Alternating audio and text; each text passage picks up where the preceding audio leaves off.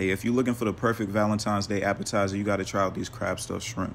So the first thing I did was peel, devein, and clean some shrimp, season them up, and put them to the side.